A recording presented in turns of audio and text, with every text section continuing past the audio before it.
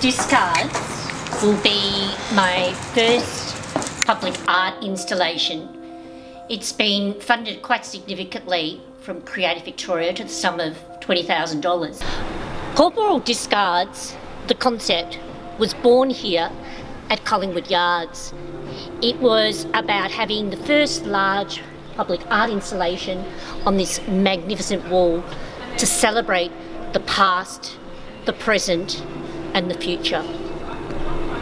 Corporal discards is a really exciting opportunity, but there has been setbacks and a key thing I've learned is you've got to have your partners on board. And so with corporal discards, the passion was about being site sensitive for Collingwood Yards. Corporal discards is very much a site specific installation. A lot of time has gone up writing up site specific proposals, including illustrative drawings, risk assessments, timelines, budgets, engineering, re engineering, the list goes on. In early 2023, I heard about the Metro Tunnel archaeological discards and approached the Metro Tunnel, who then gifted me these discards, which are over 100 years old. I envisaged that the discards could be assembled and reconfigured with my stoneworks, incorporating the history and the new narrative of the work. Through this project, I'm really exploring and immersing myself in the in the in the literature, especially around uh, assemblage and the disability lens. It's interesting when you think of the art of assemblage and how some disabled people are entangled in multiple assemblages, like wheelchairs, like me with my assistant dog.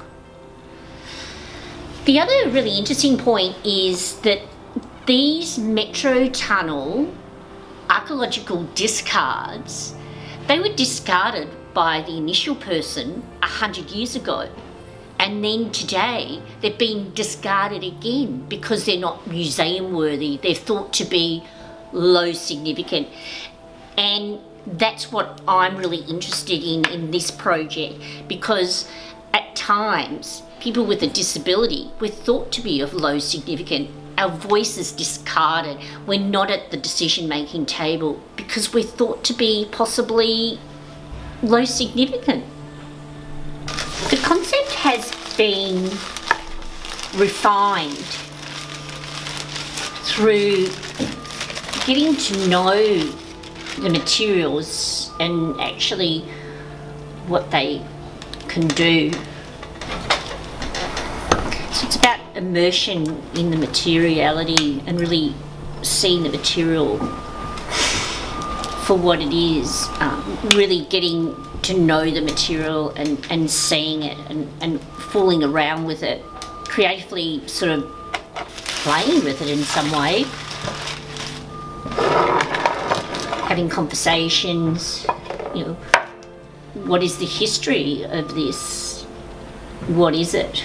It's a hundred year old. What's the narrative? What's the story? And how does it talk to my stonework or does it talk? Does it intertwine? Having conversations with the material and just exploring, exploring new techniques, responding, really responding to the material because corporal discards, corporeal discards, is about immersion.